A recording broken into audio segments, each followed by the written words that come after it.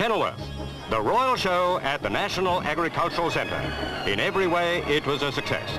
Record attendances and, better still, some very vital export deals won. A Russian mission has bought British pedigree cattle worth about 85,000 pounds. The Russians have had their eyes on our livestock for some time, but the outbreak of foot and mouth disease prevented them from buying at an earlier date. There's no need for them to worry now.